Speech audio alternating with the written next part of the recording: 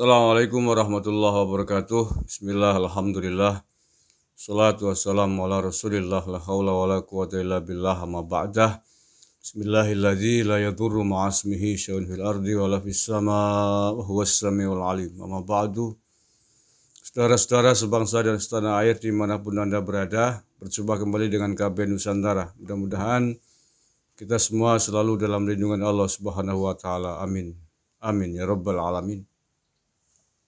Saudara-saudara, sebelum ini tadi malam saya mengupdate berita terkait dengan perkembangan dengan wabah corona yang terjadi di Kabupaten Banyumas, Jawa Tengah. yakni salah satu korban positif COVID-19 ini meninggal dunia dan Masya Allah bahwa jenazah ini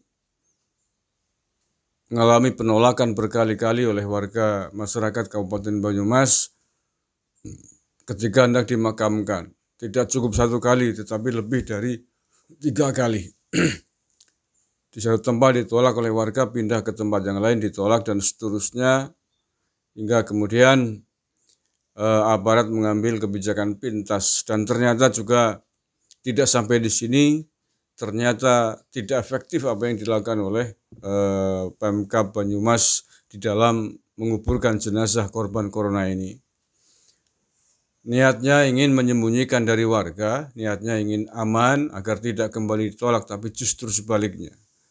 Derita jenazah korban corona di Banyumas kali ini tidak sampai, tidak cukup sampai di sini. Karena begitu warga tahu ada malam-malam kemudian mendapat protes keras dari warga setempat yang ada di kawasan sekitar Cilongok dan Pekunjan. Dan pada akhirnya sampai saat ini, detik ini saya mengunggah video ini yakni pada hari Rabu pagi sekitar jam 6.00 warga tetap menolak dan diputuskan dibongkar kembali untuk dipindahkan ke lain tempat. Belum jelas akan dipindahkan ke mana lagi dan tidak dan kita juga tidak tahu apakah akan diterima ataukah ditolak.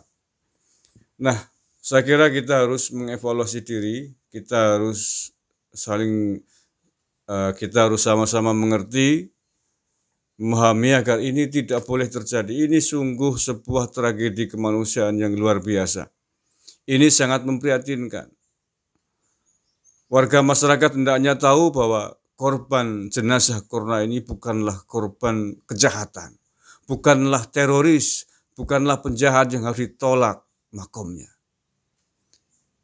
Almarhum korban wabah corona ini adalah korban wabah corona yang tidak bisa dihindarkan, jenazah yang bisa jadi adalah mulia di sisinya, yang bisa jadi diterima oleh Allah Subhanahu wa taala. Oleh karena itulah kepada seluruh warga masyarakat Banyumas khususnya dan seluruh warga Indonesia yang mungkin akan menghadapi hal yang sama bahwa sikap menolak jenazah korban corona bukanlah sikap yang diajarkan oleh agama Islam. Kalau ini Islam. Dan saya yakin pemeluk agama lain pun memiliki sikap yang sama. Yang kedua, bahwa secara medis korban corona setelah dirawat dan telah dikemas sedemikian rupa oleh petugas medis agar aman posisinya tidak menjangkit, tidak menyebarkan virus corona yang ada pada tubuhnya. Nah, oleh karena itu saya kira ke depan ini selain warga masyarakat juga harus dibuka mata hatinya, harus menyadari uh, harus menyadari bahwa ini adalah tindakan yang tidak benar. Aparat pemerintah yang terlibat di dalam penanganan jenazah ini juga harus berhati-hati berkomunikasi dengan seluruh elemen masyarakat yang akan menjadi tempat pemakaman dengan para ulama, tokoh agama, sehingga dengan komunikasi yang matang antar semua elemen ini proses pemakaman kemudian bisa berjalan dengan lancar dan tidak ada penolakan. Nah, kalau saya amati yang terjadi di Banyumas ini, nampaknya eh, tim dari gugus COVID 19 ini kurang berkomunikasi dengan uh, seluruh elemen yang saya sebutkan tadi. Bahkan yang terakhir sungguh uh, yang terakhir justru menjadi bumerang. Niatnya ingin menyembunyikan dari pengetahuan warga karena sudah tiga kali ditolak pada siang harinya, tapi justru sebaliknya penolakan menjadi semakin keras. Nah, ini menjadi evaluasi kita semua dan saya kira gugus COVID-19 yang menangani corona ini harus melibatkan unsur lain selain unsur medis, aparat keamanan, dan eh, aparat dari Pemkap, tetapi juga harus melibatkan tokoh agama. Ini penting agar mereka memberikan pemahaman kepada masyarakat terkait dengan jenazah yang akan dikuburkan sehingga masyarakat tidak perlu lagi menolak dan mereka menyadari bahwa korban jenazah corona ini adalah korban jenazah yang harus dimuliakan, yang tetap harus dirawat, dimakamkan sebagaimana mestinya. Dan Mudah-mudahan ini adalah yang pertama dan yang terakhir di Banyumas dan untuk selanjutnya tidak perlu terjadi peristiwa yang memalukan ini, peristiwa yang memprihatinkan ini. Para ulama di Kabupaten Banyumas juga harus ikut turun tangan agar tragedi ini tidak kembali terjadi. Terima kasih wallahul muwaffiq ila Assalamualaikum warahmatullahi wabarakatuh.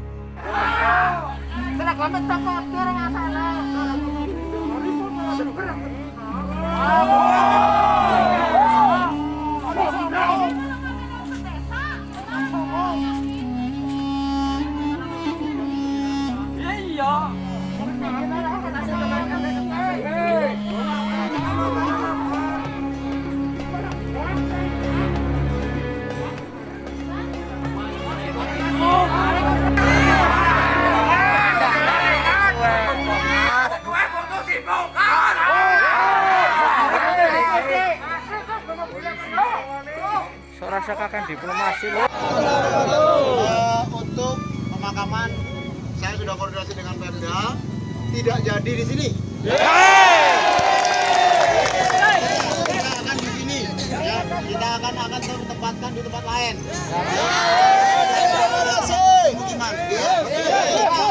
Kan ini sedoyo bubar mawon. Uh, kita kita sama-sama social distancing apa tuh? Jaga-jaga jarak. Kita jangan-jangan ngumpul-ngumpul begini.